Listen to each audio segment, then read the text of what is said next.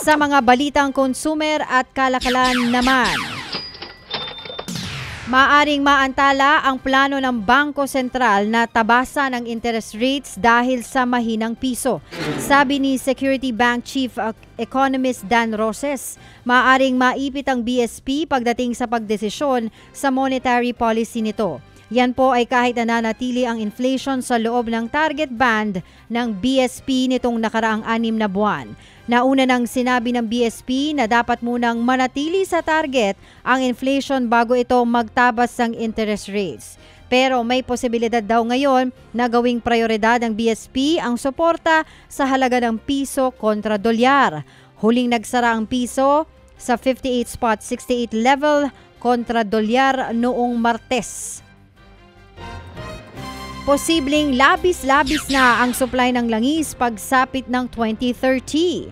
Yan po ang sabi ng International Agent Yan po ang sabi ng International Energy Agency o IEA.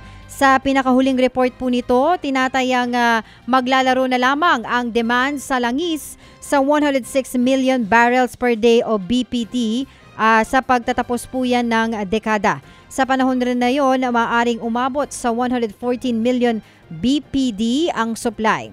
Kaya naman, magkakaroon ng sobrang 8 milyong barrels ng langis kada araw. Ang pagtataya na yan lumabas kasunod ng desisyon ng OPEC Plus na sisimulan na nilang luwagan ang bawas produksyon sa huling bahagi ng taon.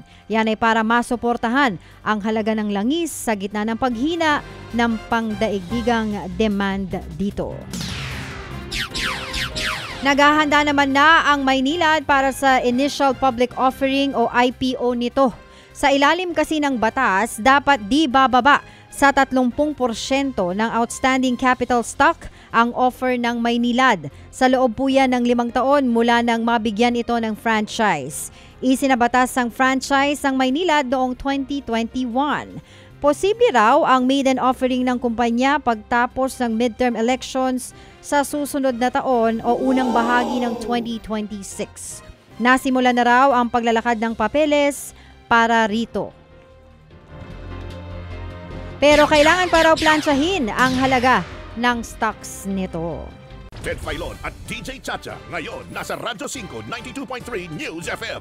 Monday to Friday, 6 to 10 a.m.